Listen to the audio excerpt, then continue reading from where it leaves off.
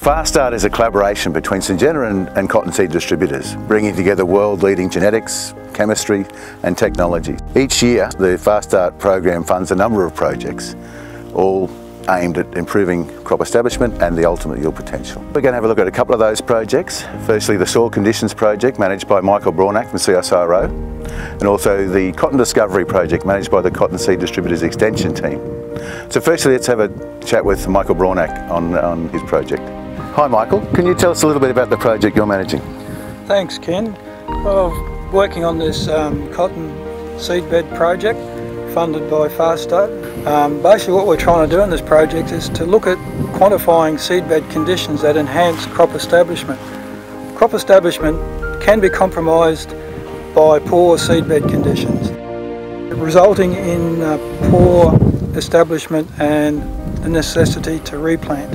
So basically if we can quantify a seedbed condition to provide an optimal establishment, we can minimise or eliminate replant, but the problem is it's a range of soils that we're working on, different conditions. It's a whole suite of factors that can affect crop establishment.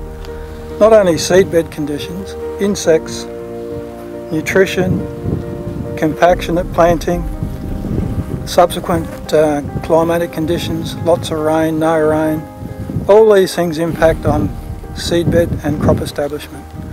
If we don't get it right in the first instance, we're missing out on potential. Michael, there's obviously a lot of factors affecting uh, an optimum seed bed.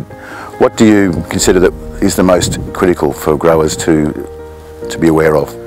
I think the most critical thing in the first instance is being aware of what your soil moisture is at the time of planting. If it's too wet, you'll just smear the soil, create compaction problems and end up with poor establishment. If it's too dry, you'll end up with a cloddy seedbed with the same result. There's a sweet spot and it's probably determined by something growers know about but have um, forgotten from the past. And that's a simple ball test. Take a lump of soil, roll it into a ball. If you can't roll it into a ball, it's too dry. If you can roll it into a ball, it's too wet. If the ball crumbles as you attempt to roll it, you're pretty well spot on. And hopefully good seed bed conditions will result and fantastic establishment. Thanks Michael, appreciate your time today. So we'll just go and have a look at the uh, Cotton Seed Distributors uh, Discovery Project. Hi Rob, you want to give us a little bit of rundown on some of the programs you're looking after this year? Um, well Ken, we're here at uh, CSD Farms and we're actually looking at the Fast Start Discovery Program and really that program is about uh, taking a whole range of compounds and different treatments that we can put on seed and assessing them in the field. So what are some of the examples of the work you're doing this year? Well, we're, looking at a whole range of things and that includes uh, new fungicides, uh, treatments we can put on the seed to attract moisture, so moisture attractants.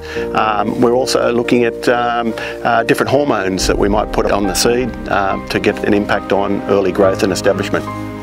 So Rob, if a product shows potential out of your program, what happens, what's the next steps and that's its evaluation? So if something shows potential in the discovery phase, we then move it uh, upstream and we look at uh, testing that compound or that treatment over a range of different environments and that would be tested from uh, Hay uh, in the south right through to Emerald in the north. Thanks Rob, thanks for the chat. Much appreciated. Very exciting things to hearing about. Thanks Ken.